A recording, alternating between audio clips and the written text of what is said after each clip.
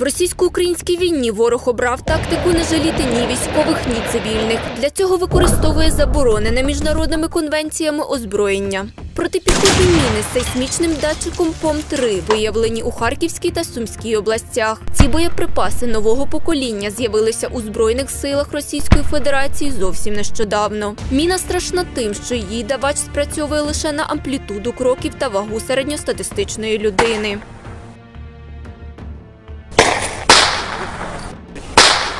Протипіхотні міни ОЗМ-72, МОН-50, МОН-100 сапери знаходять на Житомирщині. Російські військові, відступаючи, залишили після себе такі подарунки, щоб сповільнити проходження української техніки.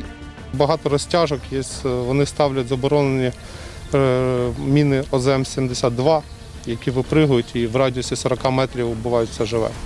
ПМН-2 перебувають на озброєнні загарбників, хоча вони заборонені Отавською конвенцією, під якою підписалося 133 країни. Росії в цьому переліку немає, тому що варвари досі використовують, навіть розробляють нові зразки цієї зброї. Наступивши ногою на датчик цілі міни, людина втрачає стопу або повністю нижню кінцівку.